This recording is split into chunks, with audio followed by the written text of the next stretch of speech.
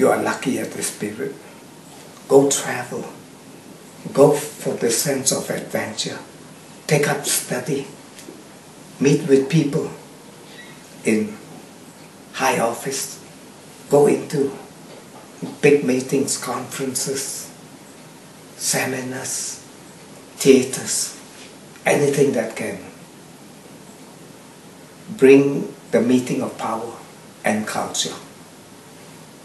You'll find that you're good in what you do. In fact, you will even amaze yourself at the genius that comes out of you.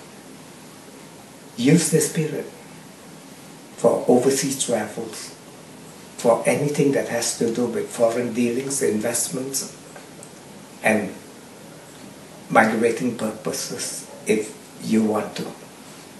So this is your lucky time where you could meet with wonderful people on your journeys. So this is a time to expand, to upgrade, to upskill, to better your yesterday to a greater tomorrow.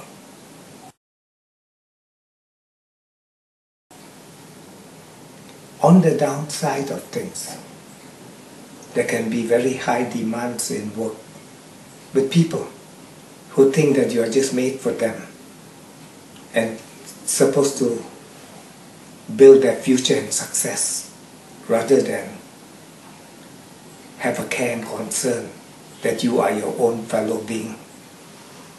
So this is where the clash of authority could come in. Your style of management may disagree with others who need this change, that change, and those change. In fact, you're dealing with a bunch of Skippy the kangaroos who want an open field rather than a concentrating of interest.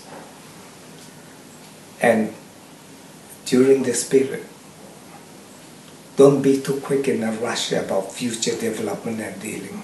They're good, but give them more time so you can make it even better. And also during this period, you'll find that there could be some correction on the business and on the work interests.